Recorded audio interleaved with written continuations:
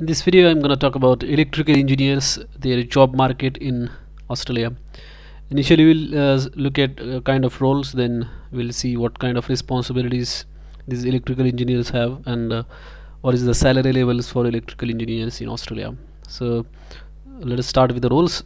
So you might uh, land up in a role such as electrical engineers, senior electrical or control systems engineer, then maintenance engineer in electrical, senior lead power systems engineer automation engineer in electrical electrical design engineer. So these kinds of uh, roles you might get if you are an electrical engineer in and looking for a job in australia. Now let us uh, take a look at some of the responsibilities or uh, skills you might have to do uh, as a electrical engineer.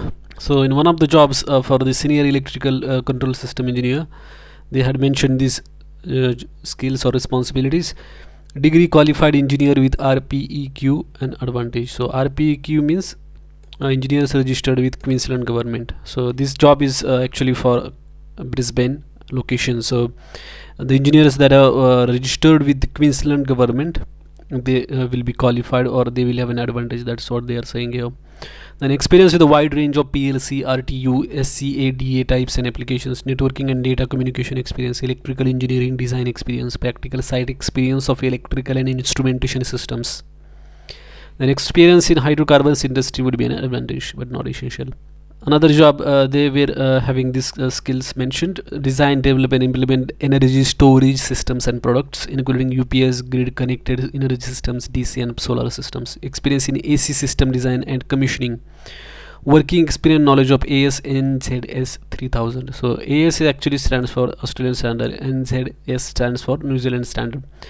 So uh, the Australian and New Zealand government have got some standards just like how in uh, India we have got ISI Indian standard similarly in Australia we have got this standard so you need to understand what these standards are. Then previous experience in DC systems and equipment including batteries. Then in one of the uh, jobs for maintenance engineer they had mentioned uh, applicant must have a degree in electrical engineering or extensive trades and maintenance experience. Then practical experience across maintenance and instrumentation operations or consulting teams. Proven experience working with pneumatic hydraulics automation plcs and electrical production equipment ability to deliver fault finding and diagnostic services to see maximum output of products and equipment experience developing and managing maintenance cmms and integrated systems and databases oracle Maximo, sap jd experience with inspection techniques root cause analysis fitness for service calculations fmeca fmea and equipment hierarchy development. Competence to use data to drive projects and reporting then uh, there was another job uh, for a senior systems engineer or lead power systems engineer. Undertake steady state dynamic power quality and short circuit assessment supporting the principal engineer to manage and deliver high level projects across australia. Then manage the development of power systems model databases and study cases. Carry out and lead power systems analysis projects across a range of industries. Have carried out a steady state and uh, dynamic power system studies competent use of modeling software packages including but not limited to PSS, SINCAL, DIGS, Silent, Power Factory and ETAP. Experience with national electricity rules and gener uh, generator performance standards GPS.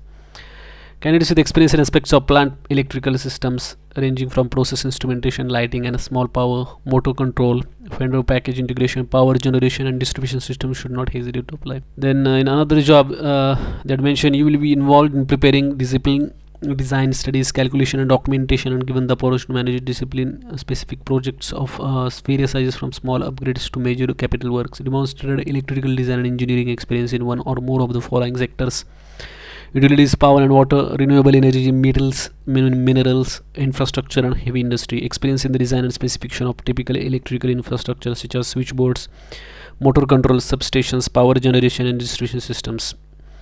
Then uh, in one of the job for automation engineers proven experience working with high speed automation equipment within a liquid processing environment dairy beverages petrochemical water treatment. There was another job mentioned on the SEEK where they wanted uh, engineers uh, who have the ability to draft electrical systems experience with AutoCAD AGI PowerCAD Microsoft Office Bluebeam and Revit etc strong conceptual and innovative engineering skills.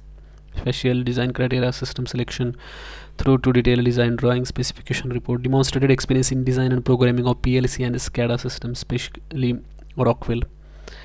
Then in one of the uh, jobs that are mentioned undertake power system studies such as load flow studies motor starting studies harmonic studies fault analysis and protection coordination studies. Prepare detailed and accurate written reports that clearly and concisely summarize the objectives results conclusions and recommendations of the project scopes. And uh, here they mentioned with large teams working with large teams the electrical engineer will ideally be RPEQ and have experience working on HV and switching candidates must have a site-based delivery and commissioning experience on substations and power generation facilities. Looking at the salary levels uh, normally for fresh graduates uh, you can expect 60 thousand dollars per year then junior level 80,000 senior level 100,000 and manager level 120k onwards. If you have any questions let me know through the comments. Thanks for watching this video